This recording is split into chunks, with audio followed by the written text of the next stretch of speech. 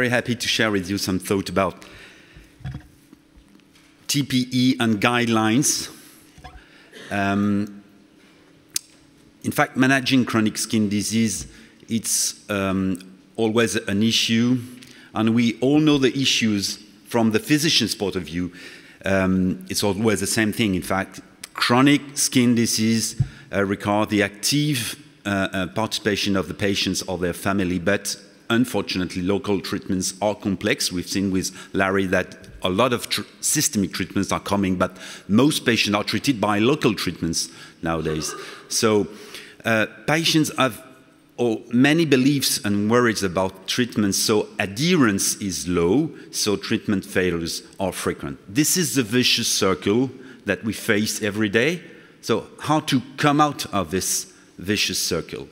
First, I think we, we have to recognize that physicians and patients, we talked about that yesterday, do not necessarily have the same goals, share the same goals. And for me, education is precisely about bridging the gap between the two points of view. Physicians' point of view are that patients should adapt their life to the disease. But patients want to adapt the disease to their life. So that's quite different in terms of, of perspective. We, as physicians, have an academic knowledge because we, we have seen many patients with the same disease. So we have a theoretical knowledge, also a practical knowledge, but it's very different from the, the patient's knowledge, which is a personal knowledge because the patient had the, had the disease from uh, his birth. We want to improve adherence to treatments and we want to improve clinical outcomes, but the patient want, wants to improve the, the, the, the quality of life is quality of life. And for the patient, adherence is not a key issue, in fact. So, to my point of view, we as physicians have to change, have to change the way we look at the patients to adapt our perspective, to take the glasses of the patients and take, give me your glasses, I'm, I'm, I'm going I'm to see your life. But I think that the patient also has to take our glasses to see our life as, a, as physicians, to more understand the, our, our problems as physicians. So TPE is a, really a way of bridging uh, the, the, the gap from one perspective to another. You've seen yesterday these uh, four models of physician-patient relationship. I like this picture, but uh, for me, it's not a way of categorizing physician because we all, in fact, have those different behavior towards patients. And me as a physician, I can start my consultation in a patient-centered mood, and I can finish when because I'm tired, because I'm late, in a paternalist way. So what is therapeutic education? I think it's very inter interesting and important to come back to the WHO definition because it says everything. TPE helps patients to acquire or maintain the skills they need to manage their life with a chronic disease the, in the best way possible. Everything is in, is in this sentence, in fact. So TPE not only improve adherence, adherence is a physician concept, TPE help the patient parent to self-manage and cope with the disease. And TPE should be theory-based and patient-centered. That's the definition, but I think it's always interesting to come back to this uh, basic, basic thing. So therapeutic education is different from information. So what, what, what's TPE in, in terms of, of theory? It is a four steps process. I will go, uh, I won't go into details because you know that. The first step is educational diagnosis. The, first, the second step is educational objectives. Which skill knowledge do the patient need according to his age, background, difficulties? The, the third step is about acquisition of skills, uh, and it's the um, in, inventive uh, uh, uh, part of uh, education with educative tools, hundreds of, of collective workshops, uh, uh, patterns, individual session, personal action plans, etc. And the fourth step is assessment, and it's, key, it's key, but it's very tricky, in fact.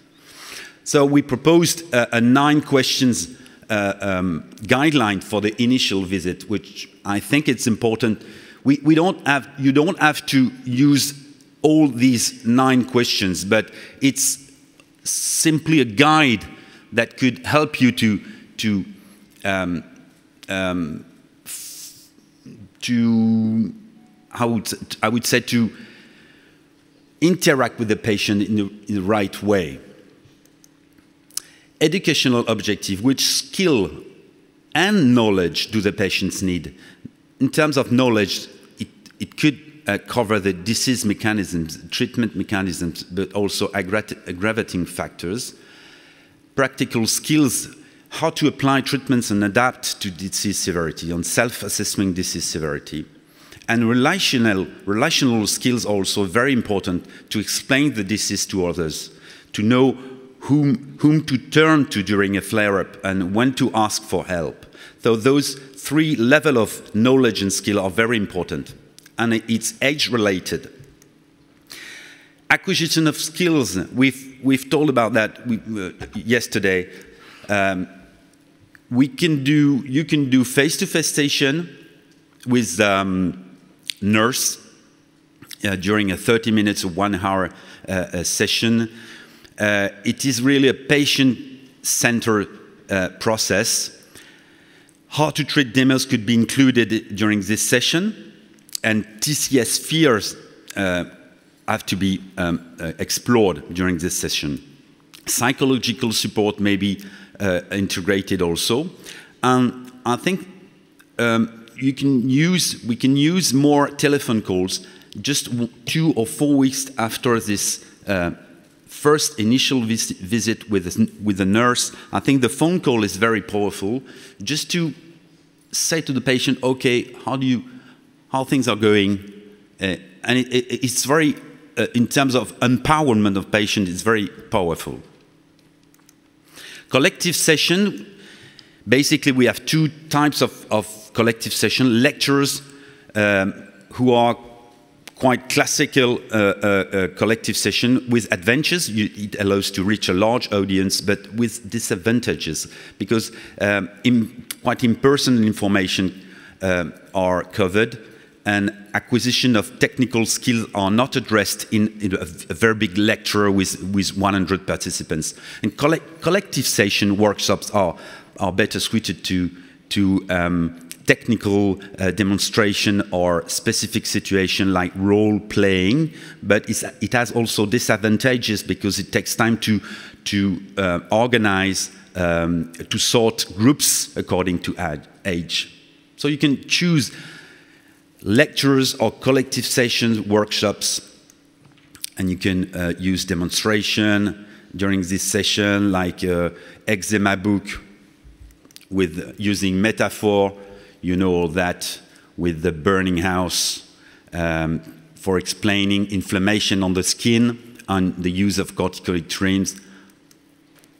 And we use written action plans. Written, written action plans are now included in most guidelines it's a very powerful way of planning treatment, helping patient to cope at home, um, and most, most written act action plans are uh, declined as um, what, what, what should I do when my, my skin is clear, what should I do when, when my skin is inflamed, and how to, to move from uh, another uh, uh situation.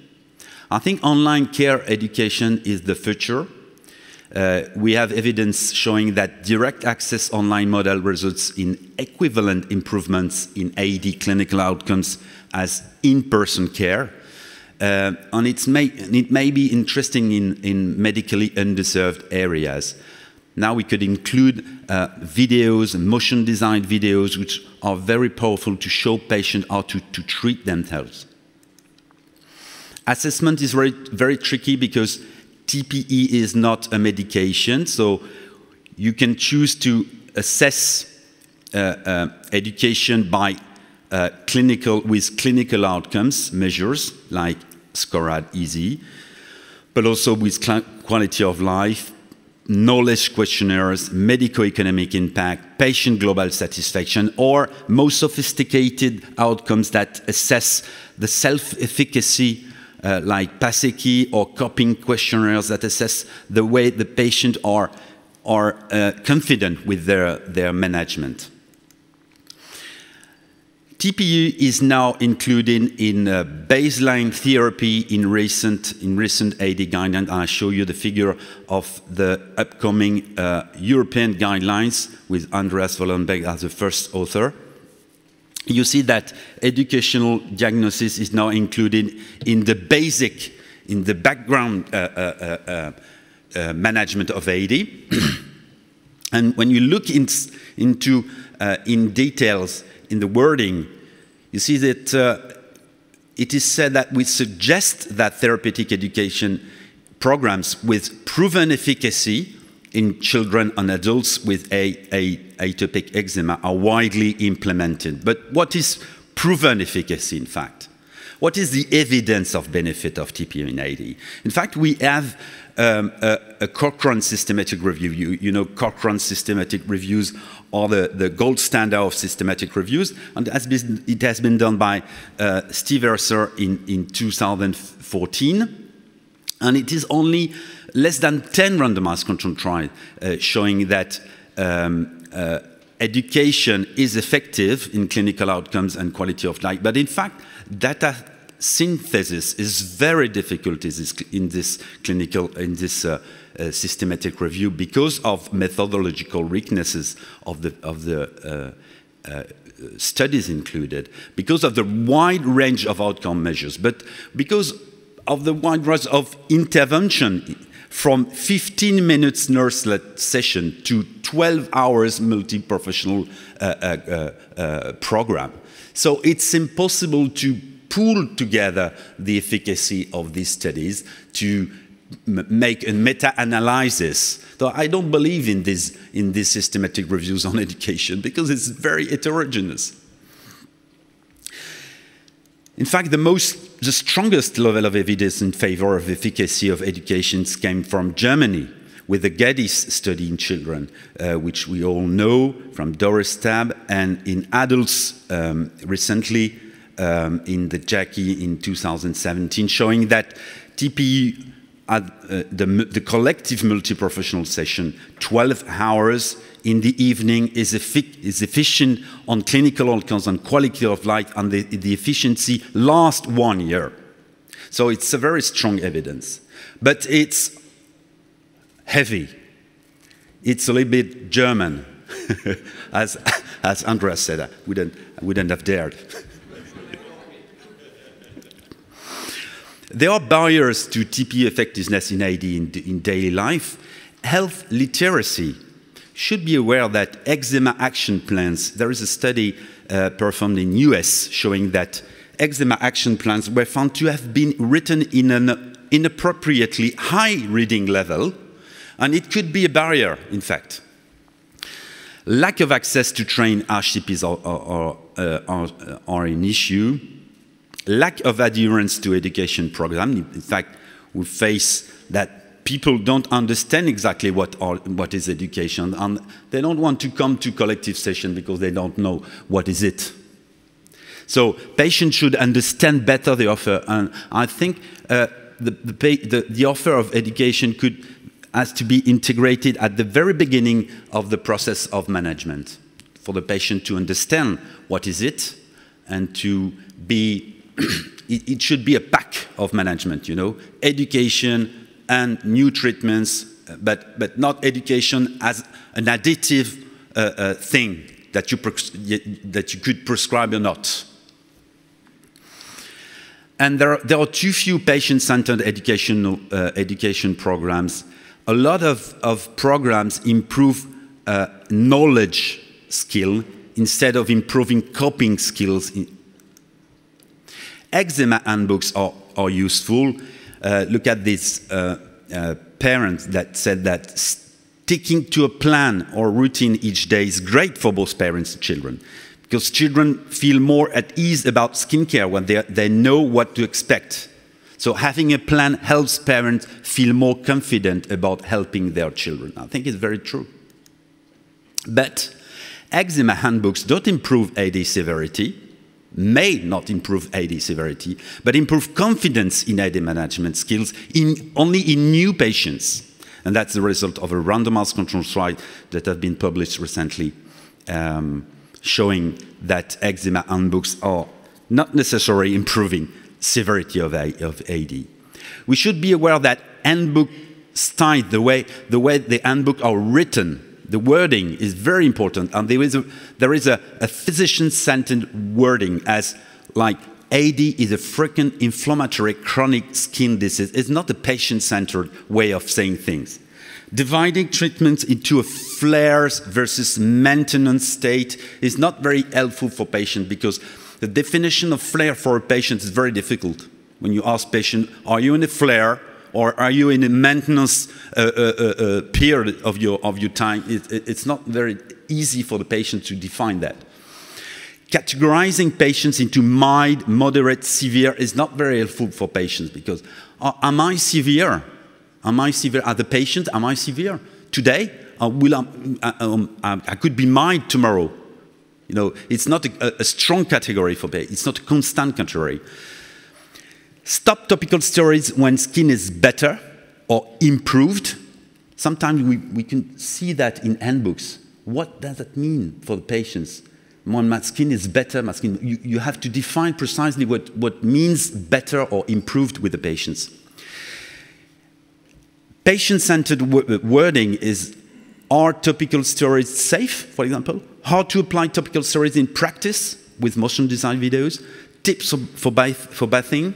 What should I do if my child itches at night? That's, that's our really impactful or meaningful question for patients.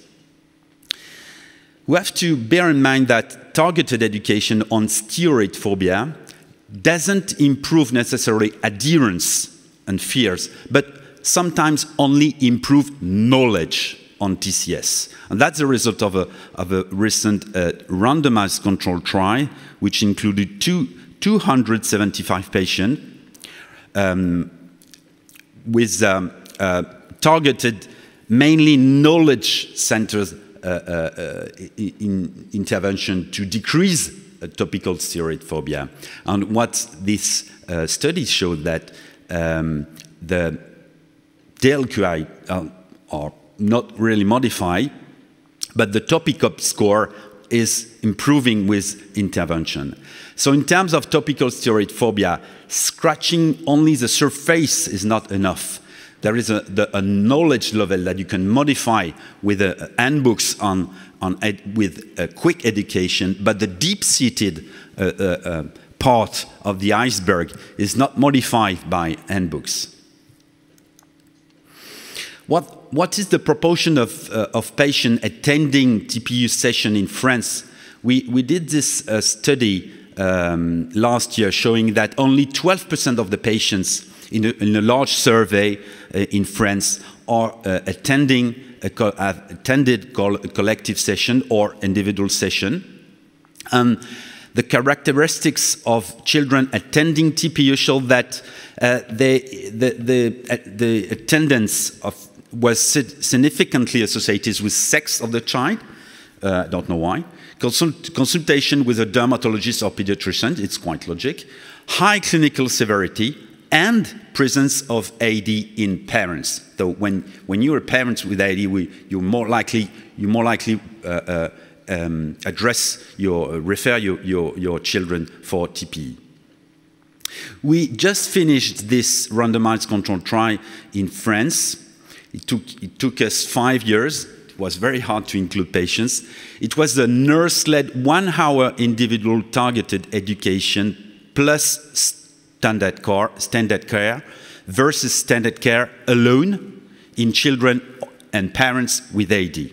So it was a multicenter randomized control trial, including uh, 80, 87 patients in the intervention arm versus 89 patients in the control group. And the intervention done by the, the, the um, nurses uh, covered what is AD, covered TCS fears, how to decrease TCS fear, written action plans, demos, and a phone call if necessary. The main outcome was the area under the curve of the SCORAD from baseline to six months. And unfortunately, we find no significant, no significant difference between the two arms. So it's a negative study on the main outcome. In sensitivity analysis, we showed that the severe AD population was significantly improved by the intervention, but the whole population of, of our patients did, did not. and when we look at the secondary objective, PO score at quality of life, adherence, there were no difference. Only the TOPICOP score assessing TCS phobia is improving when after the, the, this short targeted education. So what are the lessons? It, it's fresh. I've just had the, the, the, the, the result one week ago. So it's quite fresh. So it's just a, a free thought. Um, controlling the control group. Our control group was not very very, very standard, in fact, because it, it was an hospital setting uh, study. So nowadays, education is really integrated in our practices, and uh, it makes a difference when when um, we ask uh, our colleagues, do the standard. They're not doing the standard. They're doing education. So we, we fail to control this control group. Uh, so we're facing today uh, the difficult paradox of believing, strongly believing that what we are here, to, to, that an intervention is very helpful and failing to prove its benefit. So do we, do we really assess the right outcomes? Because we, we decided to, to assess the severity outcomes. Maybe we had to, to assess something more uh, sophisticated like coping questionnaires on some, or I don't know. But maybe TPE improves uh, the, the, the HCP's quality of life in the first place instead of patients' quality of life. It's my feeling that, that education changed my, my way of, of interacting with patients, and I won't go back now. It changed completely my, my life, my way of, of, of doing the, the consultation. But I'm not sure it's, it's um, easily uh, uh, accessible, and we, we didn't assess our quality of life. And do we have to assess everything? It's a question. Maybe, maybe it's a philosophical question, but. Um, am I going to change my practice in the light of, of these results? I don't know, in fact. I don't know. I don't know if I'm going to. to, to I, I think I'm not giving up. I'm not saying to my nurses, stop because it's not efficient, because I believe it's efficient. You know, it's very paradoxical. So, what are the take home message? Uh, TP is now part of basic management in all AD guidelines. Uh, it's really a, an improve because 15 years ago, or even 10 years ago, it was not the same uh, case. TP content is highly variable. We, we've seen a lot of examples yesterday across centers and countries, and that's good. Uh, and there is no ideal TPS content. But what is sure is that TP must be done by trained, multi-professional teams and it has to be patient-centered and tailored to local healthcare systems. Assessing TPE benefits is challenging and resource-consuming, um, and maybe classical RCTs may not be the right way. Thank you very much for your attention.